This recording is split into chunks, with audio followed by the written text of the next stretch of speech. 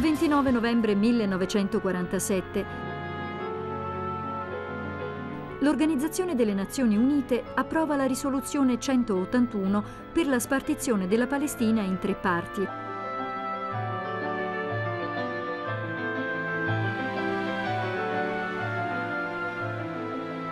Uno Stato ebraico costituito dal 56% del territorio, uno Stato palestinese e una zona internazionale comprendente Gerusalemme e Betlemme.